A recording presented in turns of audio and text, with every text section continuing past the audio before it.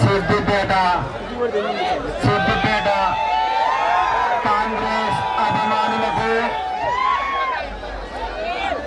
Medak tiger. ఇది అందరూ చెప్పుకునే టైగర్ కాదు నిజమైన టైగర్. జనం మధ్య నుండే టైగర్. జనం కోసం బతికే టైగర్.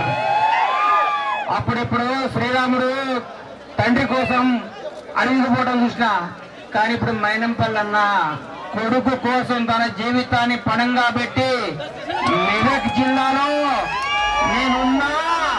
కొడుకులో రన్నీరు తొడగొట్టిన సింహం మైనంపల్లి హనుమంతరావు. నేను చాలా మంది హీరోలతో సినిమా తీశా ఆ హీరోలకి ఏమాత్రం తగ్గని రియల్ హీరో మైనంపల్లి. ఒక నీతివంతుడు ఒక నిజాయితీ ఆయన ముఖం మీరు దగ్గర నుంచి చూడండి. ఏడుకొండ వెంకటేశ్వర స్వామి చూసినట్టు అనిపిస్తుంది. ఆయన ముక్కు చూడండి. పొద్దు నేను అబ్జర్వ్ చేసిన. ఆయన వెనక నడుస్తుంటే వెంకటేశ్వర స్వామి బాడీ అయినది ఆయన అన్నం పెట్టే తీరు గాని ఆయన మాట్లాడే తీరు గాని ఆయనకున్న రోషం గాని ఆయనకున్న పొగరు గాని ఆయనకున్న మరింత తిప్పని తత్వం గాని ఛాలెంజ్ చేసిండు. కొడుకా సిద్దిపేట వస్తాను నేను అంత చూస్తాను. అదే చేసిండు ఇలా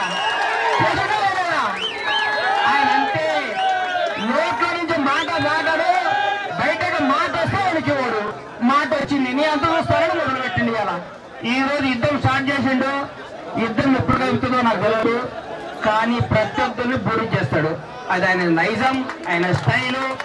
ఈ రోజు గతంలో మెదక్ జిల్లాలో సింహస్వప్నంగా మెదక్ జిల్లా గుండెల్లో ప్రజలకు పెళ్ళిదిరా అందరికీ అన్నరా ఎవరికి అర్ధరాత్రి ఫోన్ చేసినా నేనున్నా అని పరిగెత్తుకుంటే మైనపల్లి అన్నరు ఈ రోజు సిద్దిపేట ప్రజలందరూ అక్కును చేర్చుకొని అన్నా మాకు నువ్వే దిక్కన్నా నువ్వు మాకు పెద్దలు అన్నా నీవే మాకు అన్ని చేయాలన్నా ఒక్క మాట ఆయనకి చెప్తే నేనున్నా అని పరిగెత్తుకుంటా వస్తున్నాడు. రెండు వేల కాళ్ళతో ఒక ర్యాలీ తీసుకొని సిద్దిపేట వచ్చిందంటే ఆయన సిద్దిపేట మీద ఆయనకున్న ప్రేమ ఏంటో ఆయనకున్న కసి ఏంటో ఆయనకున్న తపనేంటో ఆయన ఎంత నిజాయితీ పేరుంటే చెప్తున్నా.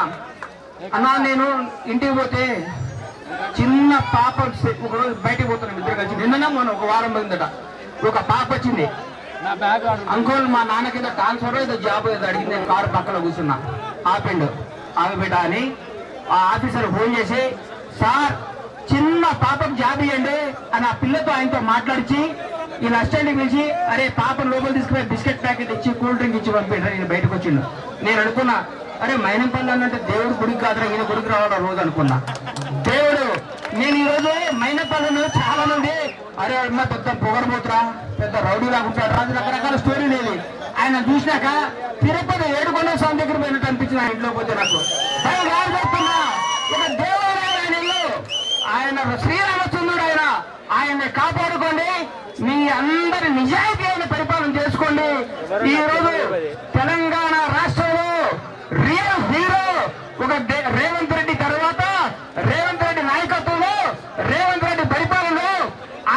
ఆయన అడుగుబాటులో పొగరున్న మనిషి పొరపాటును కూడా తప్పు చేయడు ఎవడైనా ముక్కు సూటున్నాడు ఎప్పుడు తప్పు చేయడు నవ్వుతూ ఉంటారు చూడండి. వాళ్ళు వేస్తారు తెప్ప మీరు. అన్న బాగున్నదే ఏం కావాలి? అట్లానా అక్క చేయండి అక్క ఆడే కత్తితో పొడిచేది. స్టేట్ ఫార్వర్డ్గా మాట్లాడే దమ్మున్న నాయకుడు మైనంపల్లి నన్ను కాపాడుకోండి. మైనంపల్లి మెదక్ జిల్లా